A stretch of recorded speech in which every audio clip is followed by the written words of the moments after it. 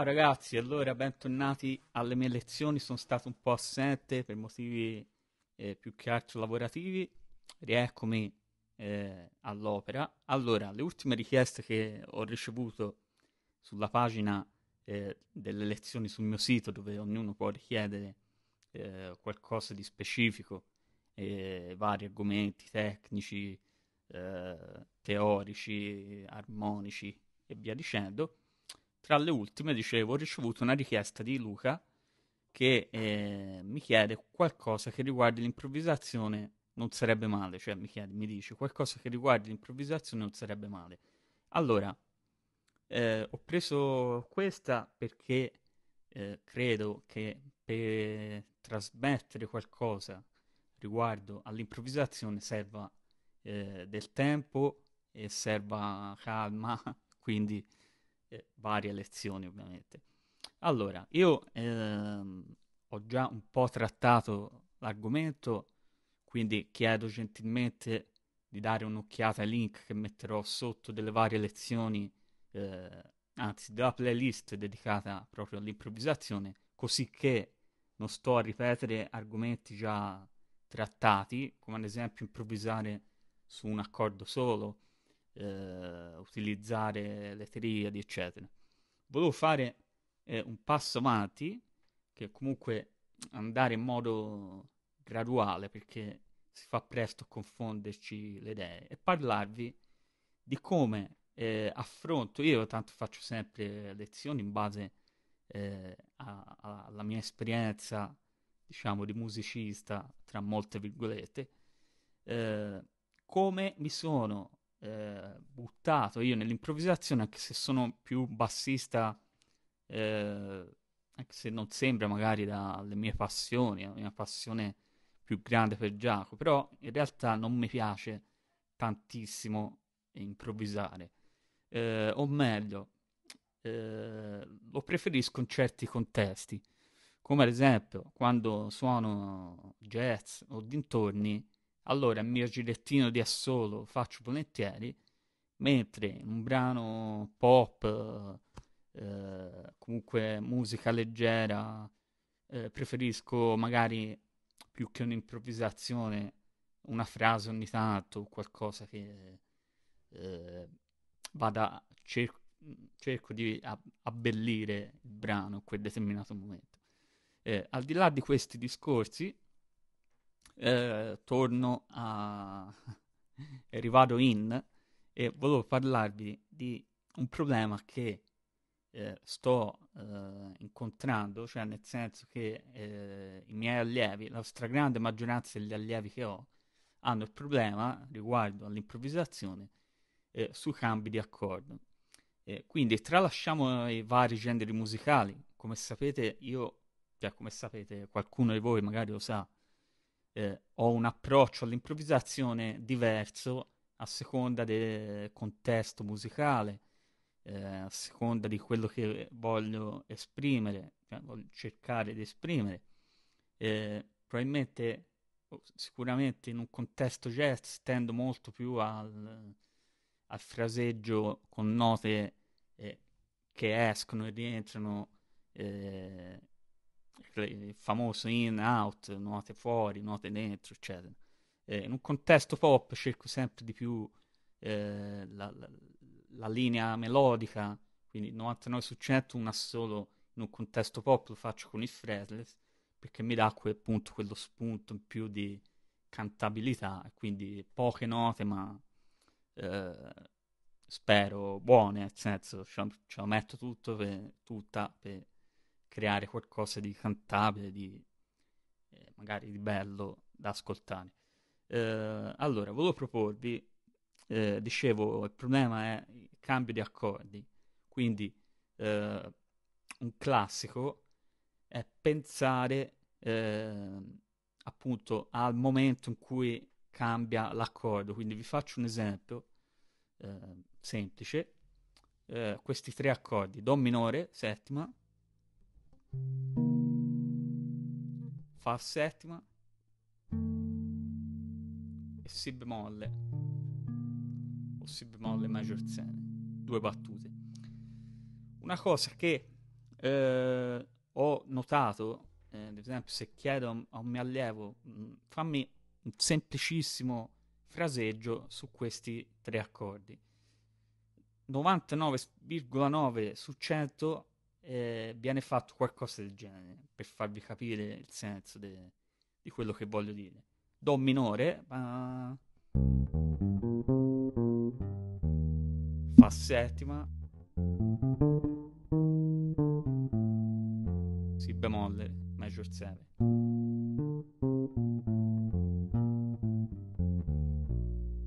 Do minore, settima, Si bemolle.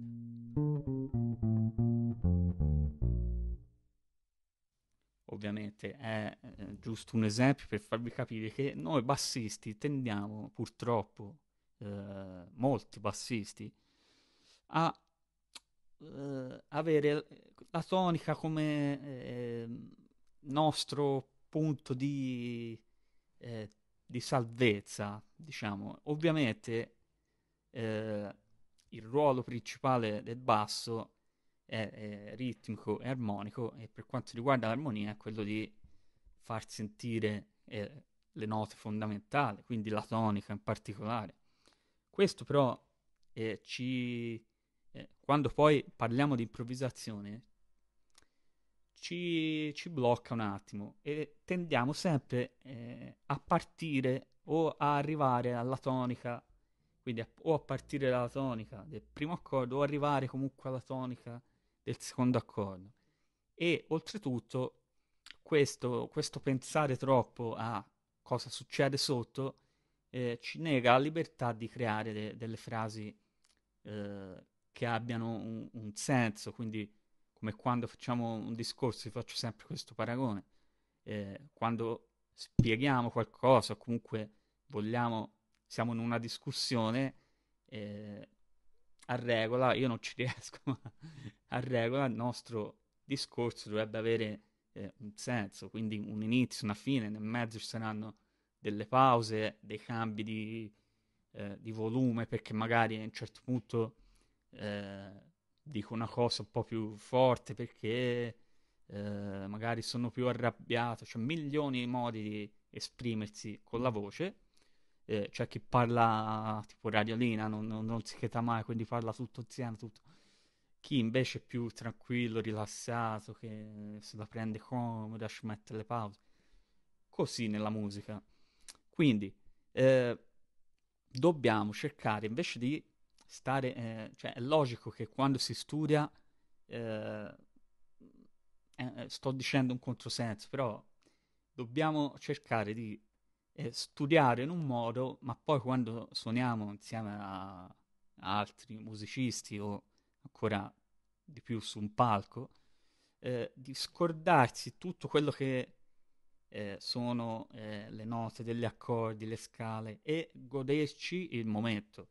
Nel senso, mh, mm, un altro paragone può essere che io eh, imparo da piccolo a leggere e scrivere, però poi l'esperienza eh, me la faccio eh, nella vita di tutti i giorni quando parlo co- con gli altri, quindi eh, anche nella musica i grandi musicisti hanno studiato e studiato e studiato, però poi quando salgono, salivano sul palco, eh, suonavano, stavano tanto a pensare e arrivarci non è semplice, però andando eh, un gradino alla volta si può eh, migliorare il nostro, nostro modo di, eh, di improvvisare.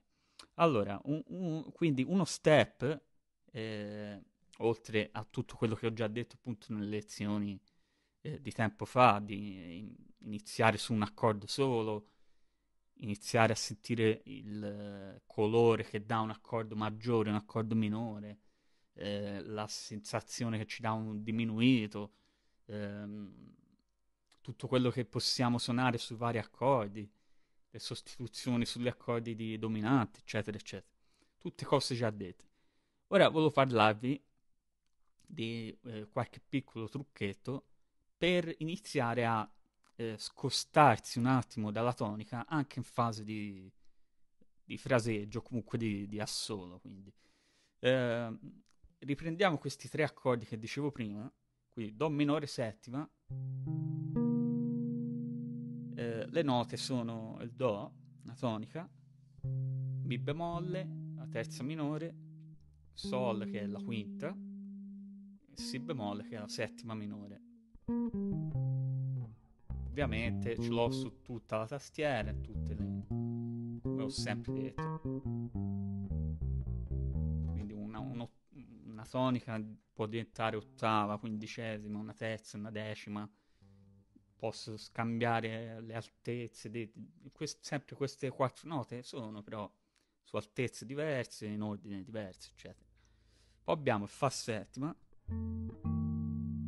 quindi Fa la tonica, la terza maggiore, Do la quinta e la settima minore, Mi bemolle.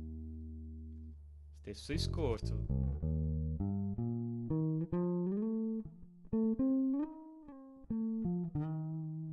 Poi il Si bemolle major 7 per due battute, quindi Si bemolle tonica, Re terza maggiore, Fa quinta e La naturale settima maggiore. Queste sono questa successione armonica, un 2-5-1, anche se in un contesto più da ballad l'ho, l'ho messo, tanto è forse la cadenza, quindi la successione armonica che troverete di più in qualsiasi una, una delle, eh, delle, più usate, insomma, questa successione armonica. Eh, allora, noi ovviamente possiamo, non è che è vietato iniziare una frase dalla tonica, quindi eh, Do minore, Fa, Si bemolle.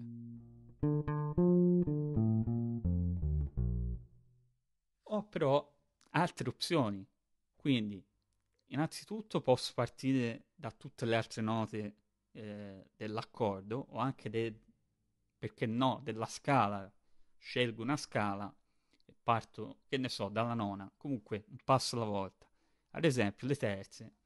Abbiamo Mi bemolle sul primo accordo di Do, eh, do minore, la terza è Mi bemolle.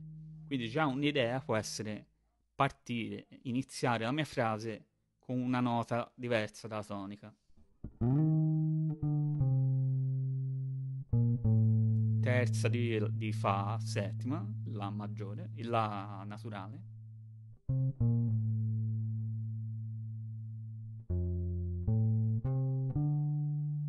Terza di Si bemolle. Oppure alla quinta, per esempio, parto quindi dal Sol.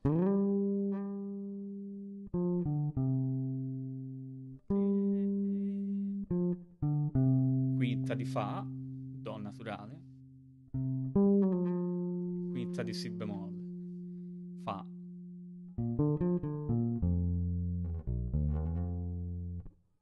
Andiamo eh, a provare con la base prima eh, de, de, delle idee partendo dalla tonica e poi sentiamo gradualmente la differenza, se ci riesco, farvi sentire la differenza partendo da altri gradi dei vari accordi. Un altro trucchetto che vi dico eh, oggi, senza andare troppo oltre perché eh, il mio obiettivo ora è fare poche lezioni, ma eh, per farvela prendere con calma, cioè ogni lezione, eh, se ovviamente vi interessa l'argomento, eccetera, che ci lavoriate un po'. Eh, un altro trucchetto può essere in un contesto del genere, eh, dicevo par- partire dalla terza, quindi mi bemolle nel caso di, del do minore, fare una frase, inventare una frase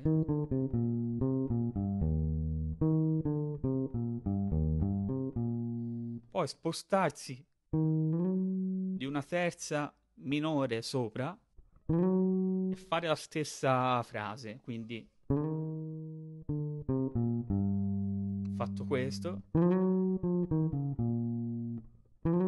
funziona perché la nota che vado a suonare, quindi la terza minore della terza minore, diciamo, eh, che in questo caso diventa un sol bemolle, è esattamente eh, la, la, nona, eh, la seconda minore, diciamo, de, del secondo accordo, che è fa settima. Funziona per vari motivi che avevo già detto sugli accordi dominante, ci sta benissimo questa tensione eh, che poi risolve. Eh, quindi, eh, inventarsi una frase e trasportarla una terza minore sopra. Quindi sul secondo accordo parto dalla nona bemolle. Questa è un'altra idea.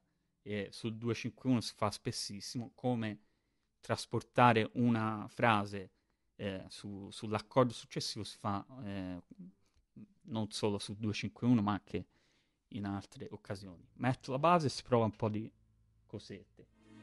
Si bemolle. Parto dalla tonica.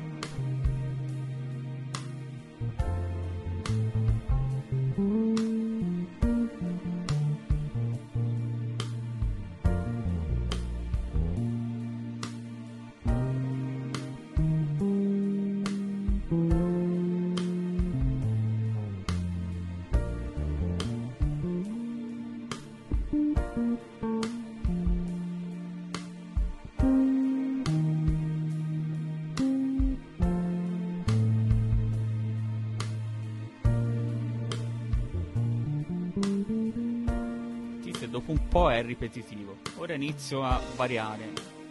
Terza, quinta, eccetera.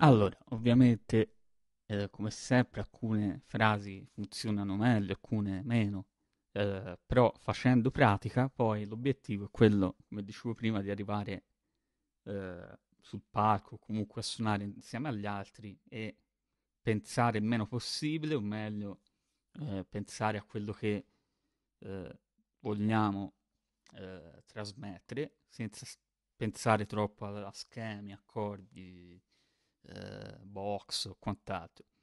Ultimo consiglio è quello di se vi riesce, se mh, mm, ne avete voglia, canticchiarvi qualche frase in testa prima o istantaneamente eh, mentre suonate, insomma. Eh,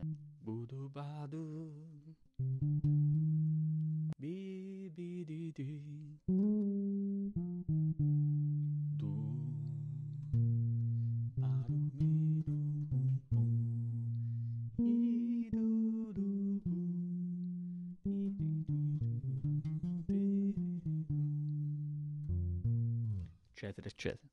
Che questo aiuta molto. Pure anche mentre fate esercizi, cantarsi le scale mentre si suonano anche sottovoce o in testa, insomma.